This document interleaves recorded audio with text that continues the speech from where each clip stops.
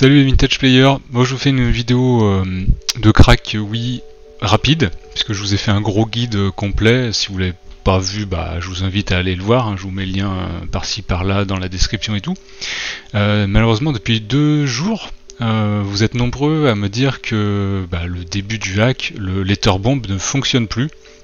Euh, et pour cause, j'ai essayé moi-même, et c'est vrai que quand on va sur le site, on rentre l'adresse MAC, on fait euh, couper le fil rouge, fil bleu pour télécharger son petit zip, et euh, ça marche pas, ça tourne en boucle sur êtes-vous un humain, la protection, bon je pense que ça va être corrigé. Si ça ne l'est pas, en tout cas, sachez qu'il y a une autre méthode pour avoir le, le jailbreak du début, donc on va faire ça. Donc j'ai sorti une de mes Wii, ma Wii rouge qui n'est pas hackée. Donc au passage je vais, je vais la rehacker parce que euh, dessus normalement il y a Donkey Kong d'origine et il était buggé, il ne marchait pas, il plantait la console. Donc euh, je vais en profiter, je vais la hacker et puis je vais remettre ce Donkey Kong, ce WAD.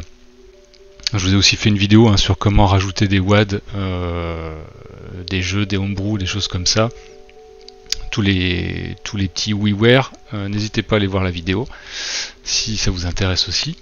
Donc aujourd'hui on va faire juste le début, le minimum, comme on va, dire ça. Alors là j'ai ouvert mon capot, hein, il n'y a plus de carte SD, je l'ai mis dans mon PC.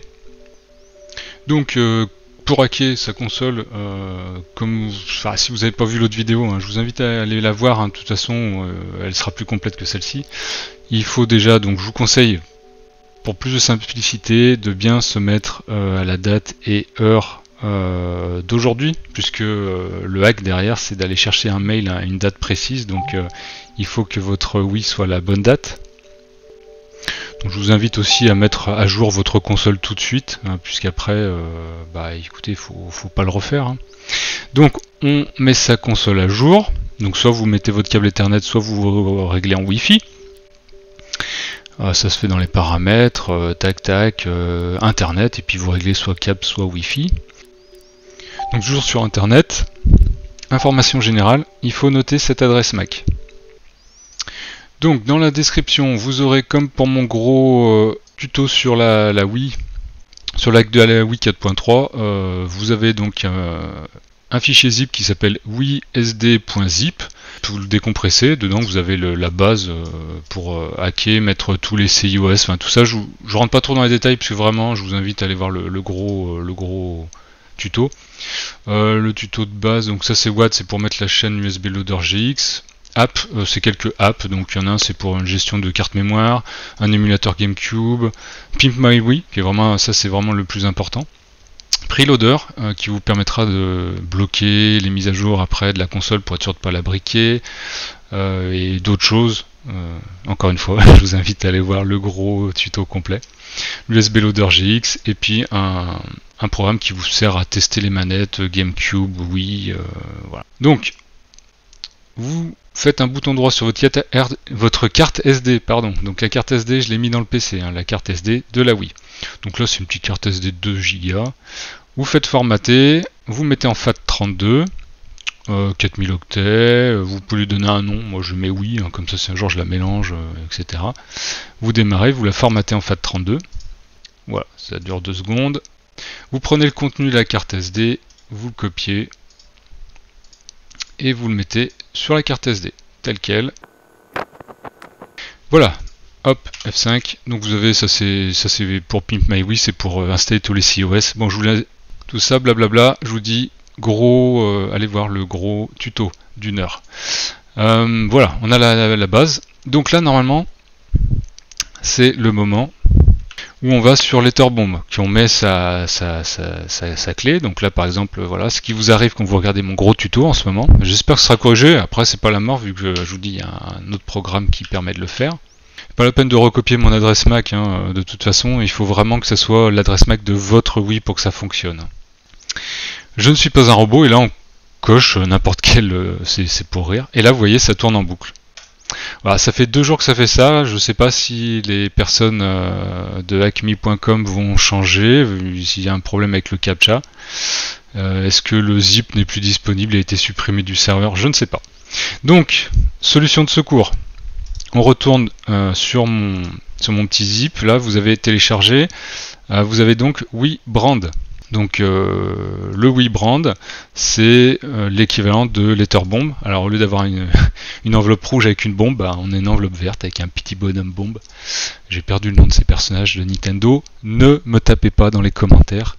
Merci. je vous ai mis aussi bah, l'explication. C'est en anglais mais c'est très simple.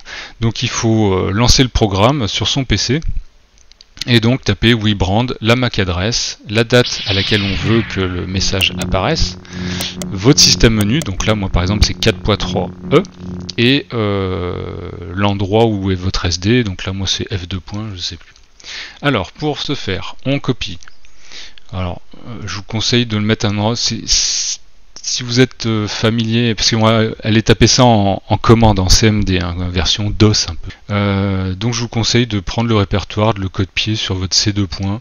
Je pense que ce sera plus facile pour le retrouver. Voilà, C2 points, on colle. Et là vous allez dans votre barre de recherche en bas de Windows et vous tapez euh, CMD et vous faites un bouton droit exécuter en administrateur. Et là donc voilà, on a notre invite de commande on se dirait à l'époque, hein, MS-DOS. Bon, c'est pas le cas, mais bref. Euh, donc vous allez sur votre répertoire, c'est pour ça que je vous dis de le mettre à la racine. Donc cd point point pour revenir en arrière, cd point point, on revient en arrière. Donc là on est sur c2 points. Euh, donc willbrand.exe espace l'adresse MAC de votre Wii espace la date. Donc la date, euh, on est sous forme euh, mois, jour, année. Mois, jour, année. Ouais, c'est ça. Ensuite la date, donc mois, jour, année. Donc le mois, on est le 05. Slash le jour, on est le 11. Donc euh, je vais mettre le jour avant, comme le faisait Letterbomb, parce qu'en plus là j'ai déjà un message dans ma boîte, je voudrais pas que ça fasse confusion, mais voilà. Mois, jour, année. 2023. Espace, là on met le système, la version de votre console, de votre firmware, où en est votre mise à jour. Donc là, moi j'ai fait la mise à jour, je suis en Europe, j'ai vérifié dans mon menu, je suis en 4.3e, et espace, et l'adresse de la SD. Donc là, la SD, on voit qu'elle est en E2 points. Donc E2 points. Et on valide avec entrée. Donc là, il travaille un peu. Et voilà, il a créé le fichier, donc dans E2 points. On a ce fameux répertoire private qu'on décompressait euh, quand Letterbomb nous avait fait notre zip, qu'on décompressait, on avait ce répertoire private qu'on collait sur la carte SD. Et on voit que derrière, il a fait le chemin avec l'adresse, etc., etc. Voilà, donc on arrive au même point que dans l'autre tuto avec Letterbomb. Hein, on a les fichiers de base, on a un WAD, on a des apps, et on a notre répertoire private qui va nous servir à hacker la Wii. Allez, on récupère sa carte SD, on la remet dans sa console. On entend le petit bing. On va donc sur les messages. Et logiquement, j'ai mis au 10. Et voilà. Au lieu d'avoir l'étiquette, euh, l'enveloppe rouge avec la bombe de Letterbomb, on a donc euh, cette petite enveloppe verte de Willbrand. Donc on clique dessus. Et on laisse la magie opérer.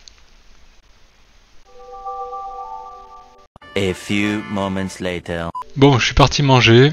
Euh, je vous ai laissé poireauter. Moi, je déconne, j'ai fait une coupure, bien sûr. je vous ai cut le repas. Alors, à votre avis, pourquoi on n'a rien du tout? Pourquoi le hack n'a rien fait?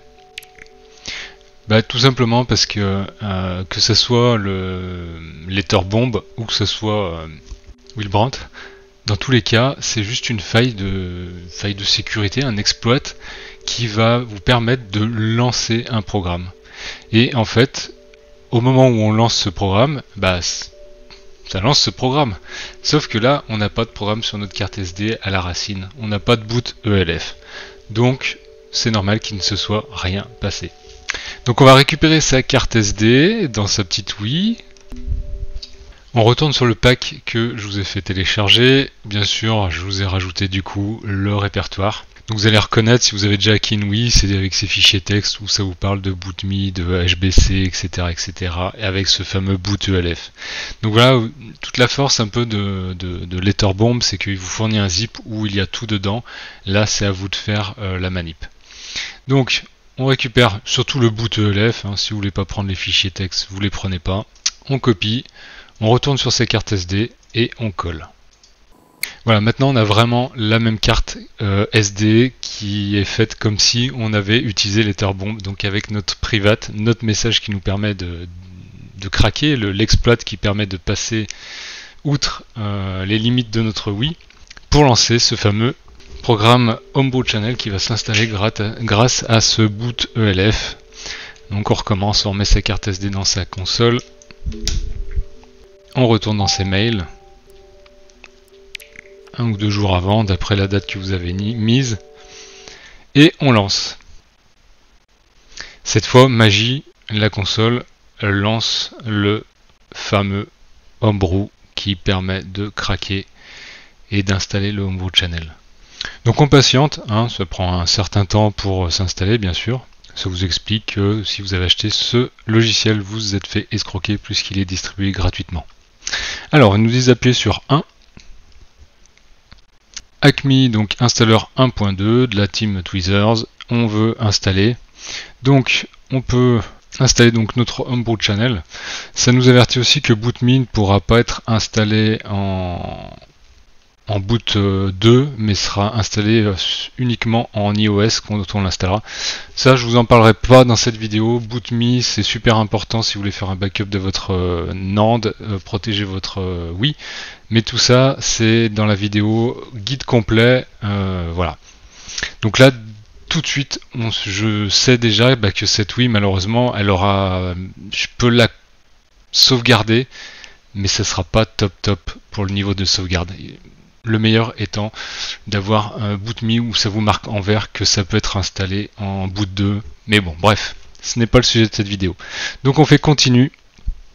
Ce qui compte, c'est qu'on puisse hack la, la, Wii et qu'on puisse euh, installer notre Homebrew Channel.